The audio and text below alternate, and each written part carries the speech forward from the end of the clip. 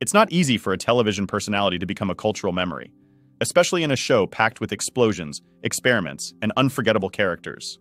Yet somehow, Kari Byron did it. With her fiery red hair, fearless energy, and contagious curiosity, she didn't just help bust myths, she inspired an entire generation to fall in love with science. But after rising to fame on Mythbusters, many fans have wondered, what happened to Kari Byron and where is she now? Before she became a household name, Kari Byron was born in 1974 in California and grew up fascinated by art, experimentation, and the world around her.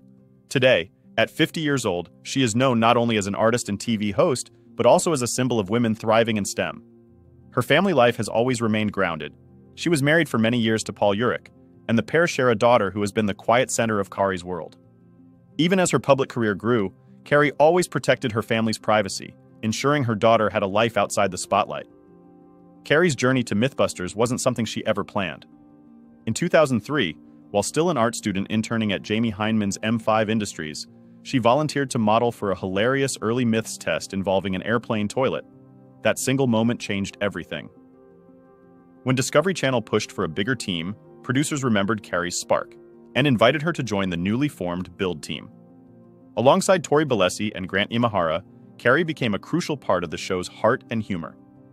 For more than a decade, from 2003 to 2014, Kari's creativity, engineering instincts, and willingness to dive headfirst into experiments helped define the show. She broke stereotypes, showing millions of young girls that science wasn't just exciting, it was accessible. The Build team handled everything from cheesy myths to extreme physics, bringing laughter, chaos, and intelligence to every episode. When Kari and the Build team departed in 2014, fans were devastated. But her career didn't slow down for a second. In 2015, she returned to TV with Tory Belleci for Thrill Factor on the Travel Channel, exploring the science behind roller coasters, adrenaline, and fear, essentially taking the Mythbuster spirit of experimentation on the road.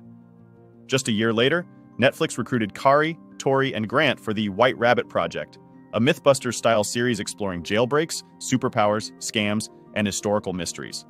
Although the show lasted only one season, it allowed fans to see the trio reunited and doing what they did best. Then, Kari took a creative leap of her own. In 2018, she published Crash Test Girl, a memoir revealing her journey from struggling artist to science communicator. She explored mental health, personal challenges, and how the scientific method helped her navigate life's toughest moments. It was raw, empowering, and unmistakably Kari. In 2021, she returned once again to the screen, this time leading Crash Test World for the Science Channel. The series focused on global innovation and human connection, taking Kari around the world to explore how technology and culture shape everyday life. The show's emphasis on unity and solutions resonated deeply with her, especially in a time when the world was desperate for hope. After the pandemic, Kari channeled her love of education into something even bigger. She co-founded Xplore Media, an educational streaming platform designed to bring STEM and social learning into homes and classrooms. Inspired by how teachers once used Mythbusters clips in their lessons, Kari helped create a modern space where science becomes entertainment and learning becomes an adventure.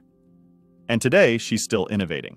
In 2025, Kari and Tory Belleci launched the Mythfits podcast, a nostalgic, funny, and deeply educational series that dives into science, technology, and the wildest myths the internet has to offer, they bring on experts, discuss behind the scenes moments from Mythbusters, and pay emotional tribute to the late Grant Imahara, their beloved teammate and friend. So, what happened to Kari Byron? She never stopped exploring, never stopped learning, and never stopped inspiring future generations to think critically, get curious, and take risks. If you grew up watching Kari on Mythbusters, what's your favorite build team moment? Let me know in the comments. And don't forget to subscribe for more deep dives into your favorite TV legends.